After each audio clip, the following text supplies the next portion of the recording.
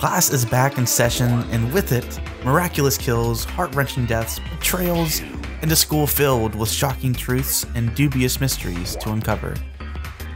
Will our 16 ultimate high school students be the shining pillars of hope the world needs them to be? Or will they submit to their selfish desires and fall to despair? To avoid spoiling the game for those of you still on the fence, I've broken up this review into two parts. Part 1 will cover the overarching concepts, gameplay mechanics, story setup, and my opinions therein, while very carefully not spoiling anything past Chapter 1. Part 2, however, will spoil just about everything else non-discriminately. Each section will be clearly marked, so watch out for that, and thanks for watching. Danganronpa V3 Killing Harmony is exactly what you expect it to be. Just like in previous installments, you and a colorful cast of characters have been plunged into a sickening situation where it's kill or be killed. And when someone is eventually murdered, everyone goes to a class trial where your careful investigations and spirited debating will decide the fate of all your friends' lives. Seemingly, the only way to stop the game is to win or to die. But is that really the case? Alongside finding the blackened and protecting the innocent, it will be up to you to find the truth behind it all. However, before any of that, it's time to meet our new hosts. Now joining the cast are the five cute, yet endlessly annoying Monokubs, ranging from a 70s rock star to a ninja wannabe. The Monokubs are an attempt to add some zest into an otherwise quickly stagnating formula, but failed spectacularly. By far, one of my least favorite aspects of V3 lies squarely on these little punks that add absolutely nothing to the game, except to be a flimsy slash convenient plot device, and to provide strictly unentertaining commentary. At times, I can kind of see where they might have been interesting, but for the most part, it seems like they're just a poor excuse for comic relief. Conversely, one of my favorite new additions is something quite small, almost unnoticed, maybe a bit underutilized. In fact, gameplay-wise, nothing changed, but with this little mechanic, you'll need to fundamentally rethink how you approach class trials. It's time to lie. You can commit perjury on the stand in the hope that it'll move the trial along to a more important point without getting hung up on the small things that don't necessarily have solid evidence. Such a thing could have been a monumental disaster. However, the times you're required to lie are pretty abundantly obvious, while still making you feel like a silver-tongued scumbag for performing that necessary evil. What's also great is that nearly every time you lie, there are people there ready to call you out on it, making it feel so much worse. After all, you're here to find the truth. You don't want to deceive your friends. But sometimes, it's necessary. Also within the class trials, there's a few new debate methods like a non-stop panic mode where you'll have three characters all trying to shout over each other, forcing you to silence them and find the correct statement to contradict. There's also a debate scrum which pits two halves of the remaining participants against each other to debate and refute arguments one by one. Similarly nice, the graphics and visual design has seen a favorable facelift. For example, at certain parts in the trial, a character's podium may be pushed to the center, putting all focus on them alone. Additionally, the overall UI has been updated to look cooler, sleeker, and present more information. 3D exploration wise, the environment you're placed in is a fantastic mix of both Danganronpa 1 and 2.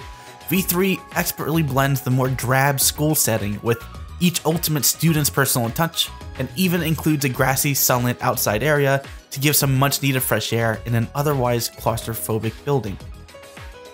While most of the game is Danganronpa through and through, I thoroughly enjoyed these new little additions that help keep the experience fresh and actively engaging. Alright, but that's not being positive. Let's get down to some issues.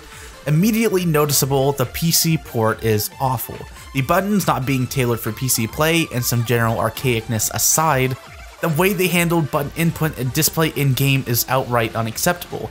Not only do the on-screen UI elements not reflect keyboard keys, but they fail to differentiate when those keys change on you. In other words, for most of the first chapter, I was under the impression the Z key was effectively the A button on the controller, the X key was the B button, and so on. However, upon getting to a scrum debate, all of a sudden the S key became the A button, the D key became the B button, and so on. So here I was playing this highly anticipated $60 game within hours of release, and I'm dead stuck on a QuickTime event sequence because evidently my button inputs weren't working.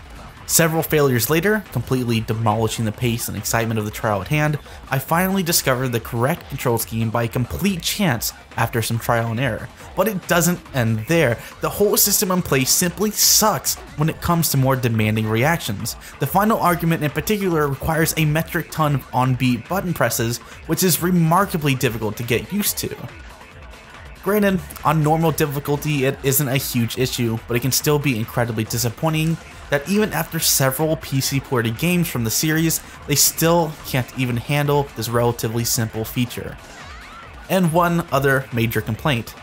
Why the minigames and class trials? It makes no sense to me to have these side activities that one, aren't murder mystery themed, one is a bland driving sequence, two, slow the pace of the game down considerably, class trials should be fast and exciting, why go out of your way to slow it down, 3 aren't designed in such a way that feels like you're authentically discovering a buried antidote through logic alone.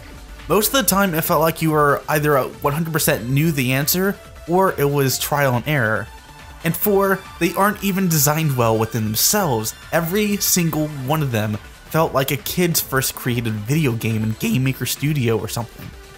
In all three Danganronpa games, I never once looked forward to or enjoyed my time with the minigames. I haven't the slightest idea why the devs of the series insist so stubbornly to include them. In the effort to avoid unnecessary spoilers, I will avoid commenting too much on the writing, but what you see is effectively what you get. Each of the characters are uniquely identifiable and have their own motivations, backstories, way of speaking, expected actions, and are as such fun to be around. Even though I feel the members of the group are a lot less cohesive than previous titles, I still went out of my way to interact with each and every one of them and enjoyed seeing what they would do or say at each particular instance.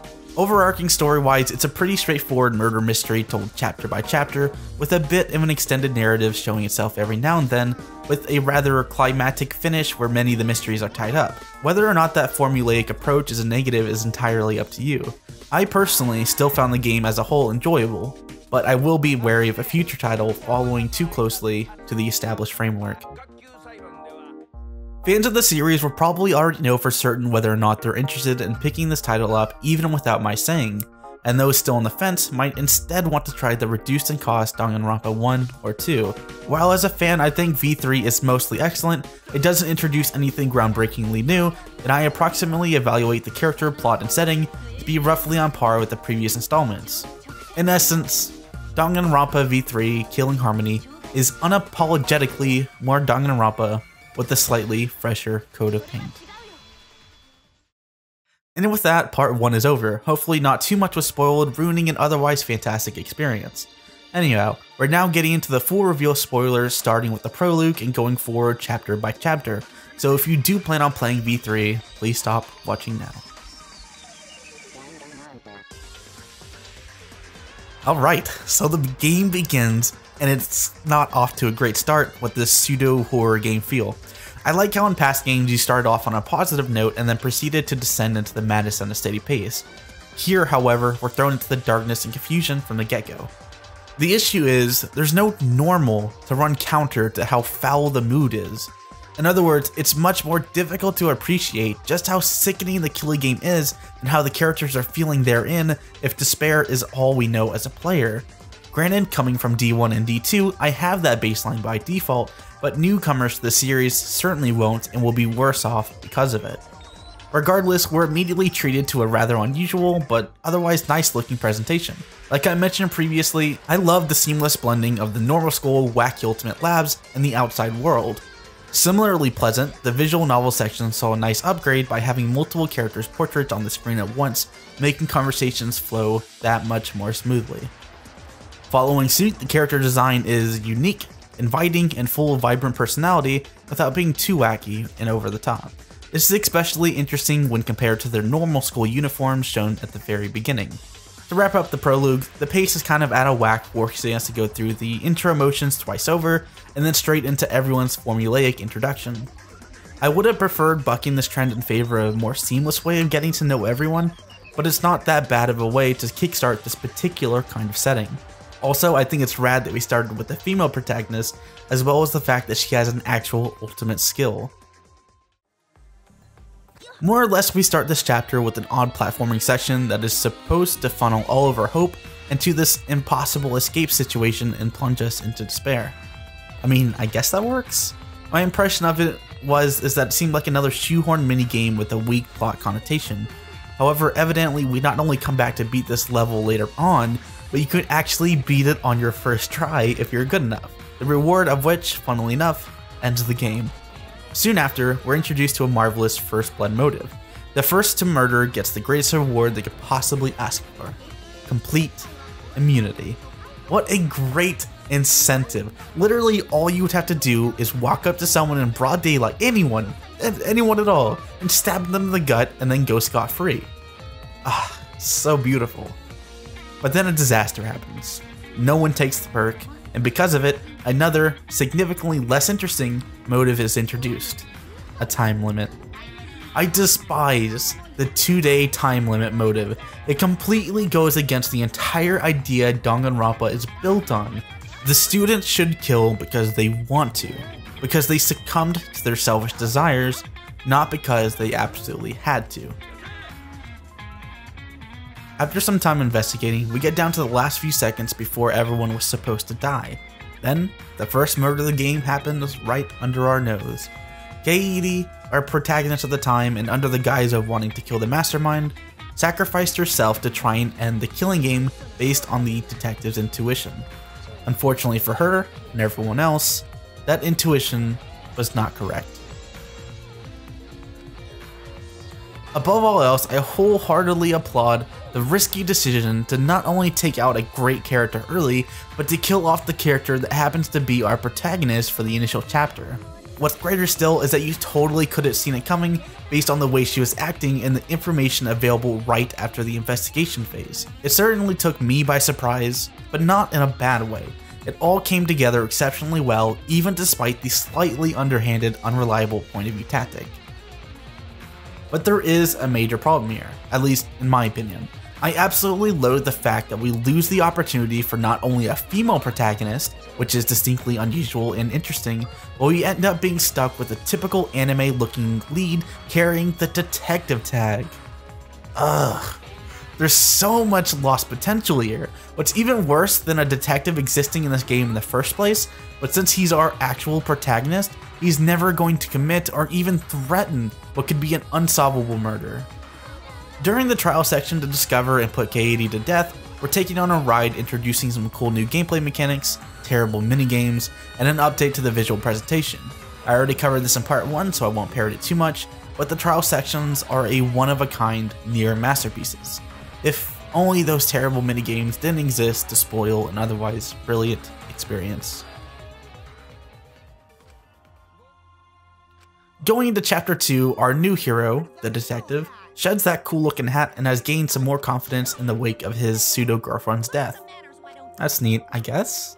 Then after opening the gambling building, we're met with a flashback device. It's a peculiar item that unlocks memories. Throughout the entire game, gaining memories of the outside world will be a constant motive and overarching plot device. By extension, we also get a monopad showcasing what each of us are missing back home. The idea being someone will kill just to leave. Unfortunately for Monokuma, the pads got all mixed up because of the Monokubs and only a few people actually got to see their own motive. Regardless, the killing continues unabated. Maid Sama ended up pulling off some crazy moves to transport the given up on life tennis dude into Mage Girl's magic trick. Honestly, I wasn't a big fan of this case since the way she pulled it off was pretty immediately obvious, but we still spent a large amount of trial time and eventually whittling down the small pieces of information to eventually discover the most likely culprit. A new chapter begins, and a new floor revealed, and wow is it spooky. By extension, we get an equally chilling motive, the ability to resurrect one of our dead friends. Monokuma doesn't lie about these kind of things, so that must mean it's possible, right? Over the few days of general exploration and free time, the worst possible thing happens. But no, not, not someone being murdered in cold blood. Think worse the secular versus non-secular group division. Oh, fun. Thankfully, it doesn't stick around for too long for the obvious reason, but I seriously despise the invasion of the religion angle and the thinly veiled criticism accompanying it. But that's all I'll say about that. Anyway, the murder gets underway and it seems to be a locked room environment. A Bit tricky. In the course of investigating, the anthropologist recommends a seance to possibly call on Angie and have her point out the killer. However, before that can happen, Kung Fu Chick is killed under the dog cage during the seance. A seemingly impossible double murder. Just how did it go down? This is easily my favorite chapter in the entire Danganronpa series, primarily because there were so many different theories swirling in my head around the time. Starting with the resurrection incentive. If Monokuma says it's possible, it has to be a thing, right? But how do you resurrect someone without actually bringing them back to life? Similarly, is communicating with the dead a real thing in this universe? Was the initial murderer scared that they would actually get Angie to speak beyond the grave and tried to stop the seance even if they had to kill to do so? Why is Kaito acting so suspiciously? What did Kokichi discover right before the class trial? Did Mage Girl do it since she recommended the room and possibly hold a grudge against Kung Fu Chick because she felt betrayed? And are there two culprits or just one? I was thinking across so many different lines of thoughts and it was endlessly enjoyable even despite the fact that many of them were disproven over the course of the trial. The thing is, we had plenty of information available and many of them could have been right if things were just slightly different. So it ended up going down like this. The anthropologist set up the rooms to be ready for his eventual murder. Careful planning not only shifted suspicion away from him, but redirected it to whomever would suggest a room. What's kind of funny is that Angie originally wasn't supposed to be killed, she just happened to enter the room Kiyo was in while he was setting up the boards. But why kill more? why not just stop at the locker room murder of Angie? Without a doubt, more crimes leave more evidence, and had he not went through the second murder, he might have had a better chance. But those kind of motivations don't apply to an incestuous lunatic. Within the scope that most murders in the series are for self-preservation, for someone in particular, or a righteous cause, I thoroughly enjoy that there's just this one guy who is just batshit insane and wanted to murder because he could. I mean, he says he was close to 100 girls murdered. It's quite a bit. You probably deserve to die. Ah, and at the last few moments, RoboKid killed himself for no reason. I guess there isn't a Monokub uprising happening behind the scenes. Okay then, why did the first two die just randomly? I just, it kind of like circles back to why the Monokubs suck so much. They just, they're pointless in every single way. Unexpectedly, but not unwelcome, is the journey into a virtual world for the 4th chapter setting. I'm a big fan of these kind of situations because it takes the killing game formula and gives it a new set of mentally shifting rules to adhere to. Broad stroke series of events, Inventor Chick went to great lengths to try and kill Kokichi, but ended up getting killed herself by Gonta. Why? Because apparently, the outside world is such shit, Gonta thought he should mercy kill everyone. While I thoroughly enjoyed the investigations into the mysteries of this case, I disliked who ended up doing it and why. True, he discovered the flashback light. Was that really enough to drastically overhaul his already established pacifist personality? It just didn't sit right with me. Still, I gotta give credit to the devs for making this one of the saddest scenes in the series. Gonta had betrayed himself, murdered his friend, forgot about it, but still accepted his fate regardless because that's where the facts pointed to. He didn't look away from the judgment handed down to him by the very people he wanted to mercy murder only a short while ago. R.I.P. Gonta. Based on some light looking into other people's opinion, Chapter 5 seems to be most people's favorite. I, on the other hand, thought it was one of the weakest in the entire series, but there's a lot to cover, so let's take it one step at a time. First off, we discover that we're on a spaceship, and also, Rantaro was the ultimate gladiator or something. Later on, we make it past that platforming section with the Electro Hammers and find out, just like in past games, the outside world is effectively in ruins and there's no home for us out there at all. We were all killing for nothing. Worse still, Kokichi claims to be the dastardly mastermind. As a bit of a ranty side note, I am so sick of Kaito's character. He's the most useless, egotistical scumbag of them all, and has done nothing but soak up suspicion and constantly throw up death flags with no payoff. He constantly tries to come off as the hero of the story, even though the piece of shit literally has done nothing all game. In fact, his delusionally inflated nature seriously had me consider him the mastermind for a while. Imagine that, a dumbass like him being the one behind it all. Yuck. I kind of get that he was like somewhat of a tragic character, but that doesn't alleviate the fact that he pissed me off all game long. Rant over. Anyhow, the chapter defining murder happens in a very boring way that entirely hinges on the very intentional lack of information given to the player, and more importantly, Monokuma. While the idea is neat, this is not well done or interesting writing. Almost the entire trial was the monotonous squeezing out of minor bits of information over a long period of time. Even worse still, the Kaito Kokichi double play did nothing except slow down the already slow pace of this trial to a belly chafing crawl. It seems like a novel concept considering the idea was to try and stop the game due to Monokuma not being able to give an omnipotent verdict, but does that really mean the rest of the case has to be so damn boring? Earlier, I mentioned how much I love that Chapter 3 gave us so many avenues for theories, and yet Chapter 5 did absolutely none of that. True, you could have a theory or two, but it would be entirely impossible to give a substantiated guess because there simply wasn't enough information to warrant solid speculation.